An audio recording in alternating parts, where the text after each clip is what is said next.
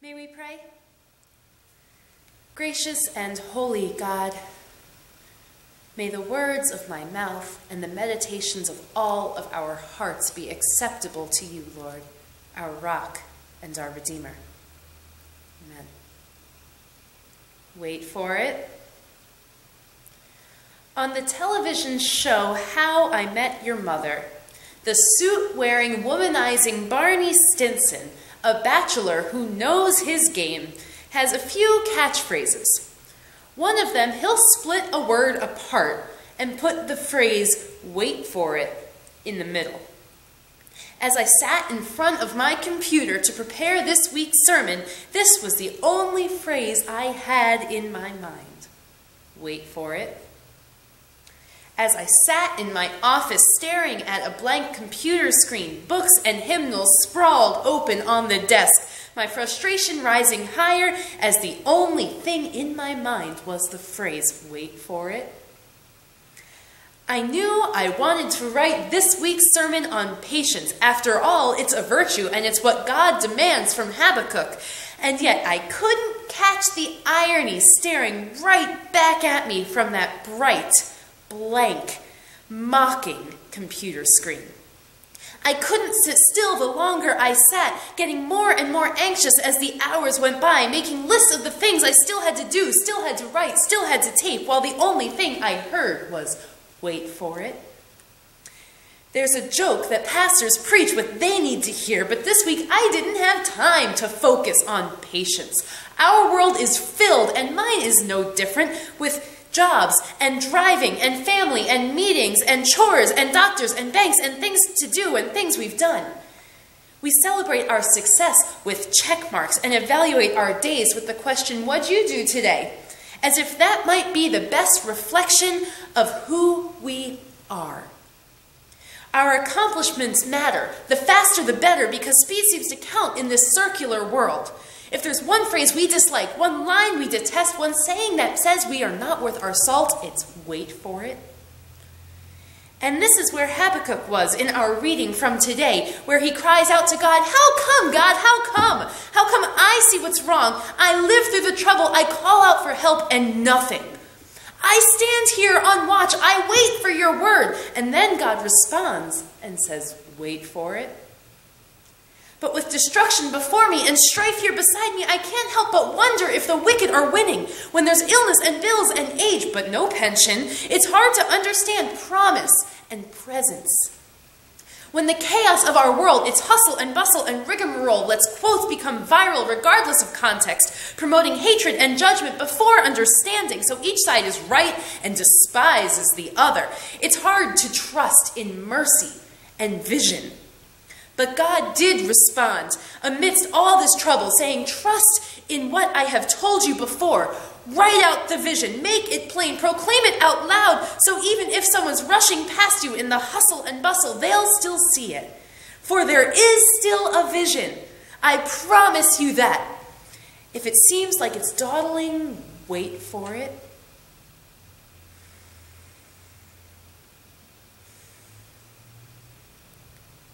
What God seems to remind us, and we tend to forget, is that promise isn't proof, it's focus. Focus is the spot you stare at in the distance, so that regardless of what's going on around you, you can keep your distance.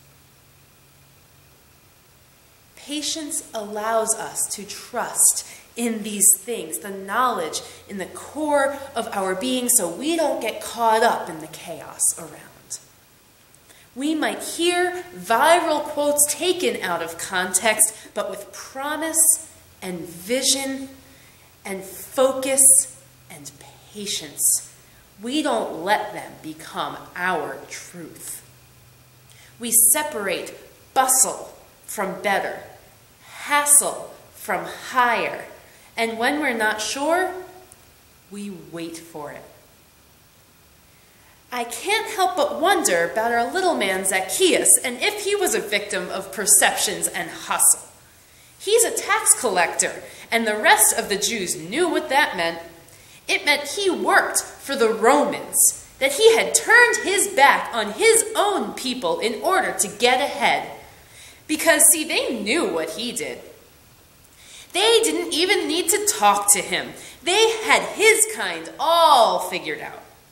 Because they knew other tax collectors, see, the kind that took more than Rome required to line their own pockets, the kind that stole from their neighbors in ways that were protected by law. He was so begrudged, so ignored, pushed away from the rest of the crowd that he had nothing left to lose, no pride left to protect when he climbed a tree to clasp a glimpse of Jesus. So, from that point of view, when we know his kind, we celebrate that Jesus changed him that meeting Jesus, being honored by his presence, calls Zacchaeus to give some huge, above and beyond declarations of what he'll do to make up for all that he's done. But we've seen how Jesus treats other people who immorally handle money before, and it ain't this pretty. And if Zacchaeus had heard any of the stories about Jesus. I'm surprised he hurried down and was happy to welcome Jesus. So it gets me wondering.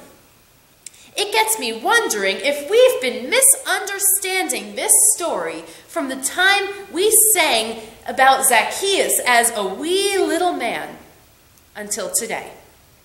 It gets me wondering if the story of Zacchaeus isn't much about Zacchaeus at all as it is about God saying, wait for it.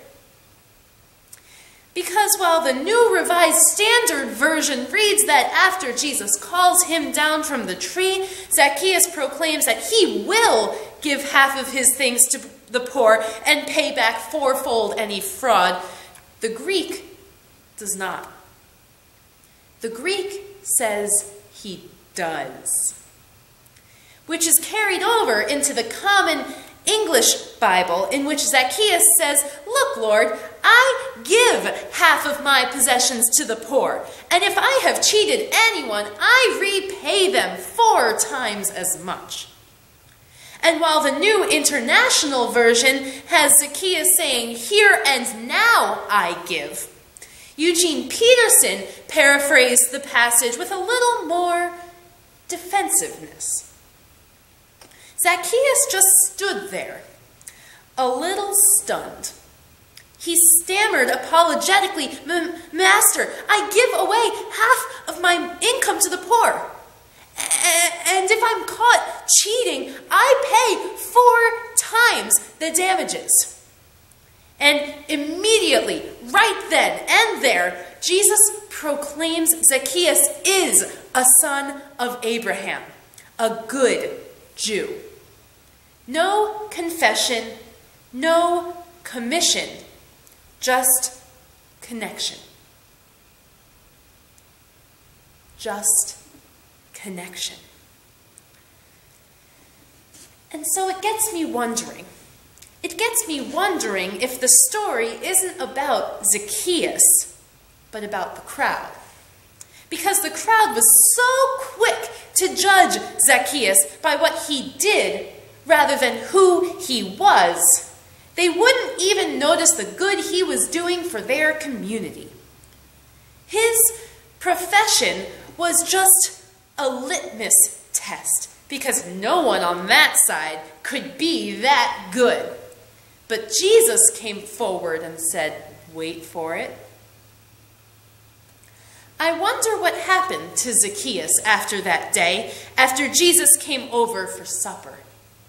Did Jesus' declaration hit the heart of the crowd who now saw him as a Jew just as worthy of respect as anyone else? Did they resent him for the attention he got and grumble to each other about the special treatment that even Jesus couldn't stop giving those people? Did they go around still thinking that every tax collector was a spy and a crook? Or did they withhold their judgment and yield to understanding, hearing God's call that we wait for it? I wonder if that is why God responded to Habakkuk's plea when he got so trapped, he got angry. When the impatient are called to patience, could it be a plea from our Creator not to get caught up in the whirl of this world, the adulation of action, the celebration of stereotype in order to stay speeding? Real understanding takes time, an increasingly precious commodity in our caffeinated world.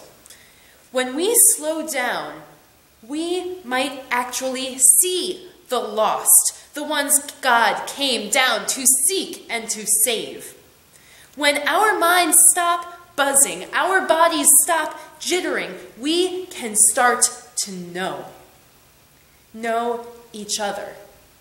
Know our God. Can we wait for it?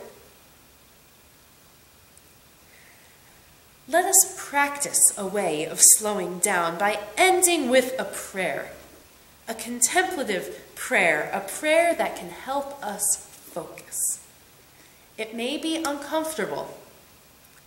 It may feel just right. All I ask is a willingness to try. Be prepared for silence interspersed with a single verse. May we hear the still, small voice of our God. May we pray?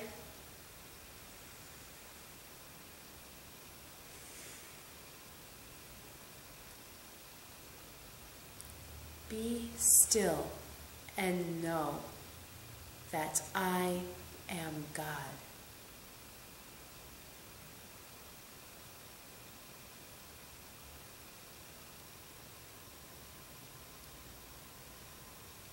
Be still and know that I am.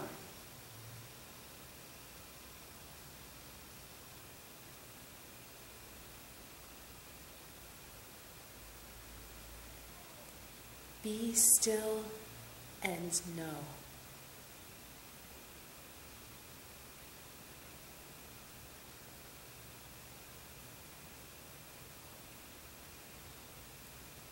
Be still.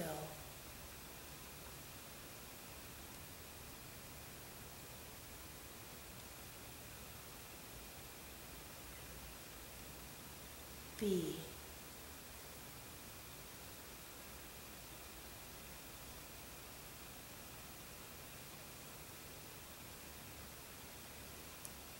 Be still.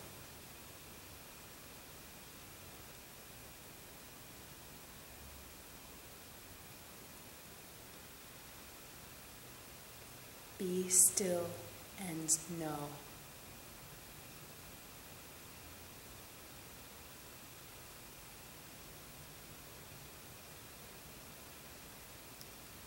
Be still and know that I am.